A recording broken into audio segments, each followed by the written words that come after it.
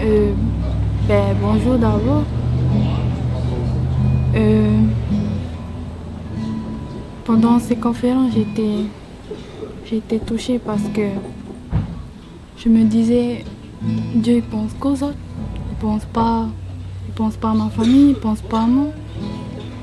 Et je me disais, si c'était comme ça, euh, ben, c'était que on n'était pas de Dieu, mais, mais Dieu a vraiment ouvert, ouvert mes yeux parce que, parce que Dieu pense à nous, mais c'est pas encore le temps.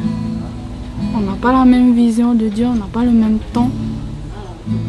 Euh, récemment, ma maman elle a fait un AVC.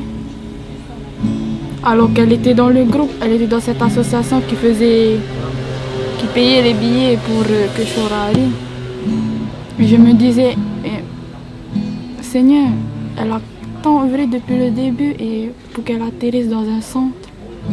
Alors que quand les gens y viennent, ils arrivent comme ça, peu importe, des païens des chrétiens, ils arrivent et s'assoient, ils sont délivrés. Et moi je me dis, Seigneur, est-ce que tu es vraiment juste? Et franchement, le Seigneur m'a donné une belle gifle parce que ce n'est pas, c'est pas encore notre temps. Je vois carrément que on n'est pas patient, on n'a pas la même vision de Dieu. Mais je sais que Dieu va toucher ma maman. Je sais.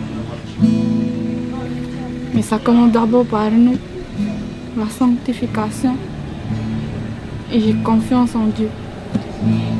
Je me réjouis parce que les autres, ben, ils ont pu être délivrés, ils ont pu connaître la grâce de Dieu. Mais Seigneur, je sais que tu vas, tu vas agir. Amen.